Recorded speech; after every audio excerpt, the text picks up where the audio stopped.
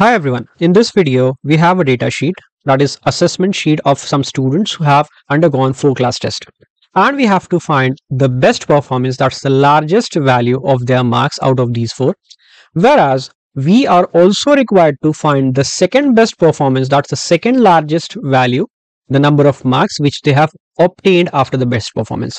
So rather than finding here value one by one in each of the columns you can use a formula. Formula is is equal to large select the data set from which you have to extract the largest value comma type 1 here for the largest value bracket close enter as you can see, out of these four values, 84 is the highest and we have got the correct results.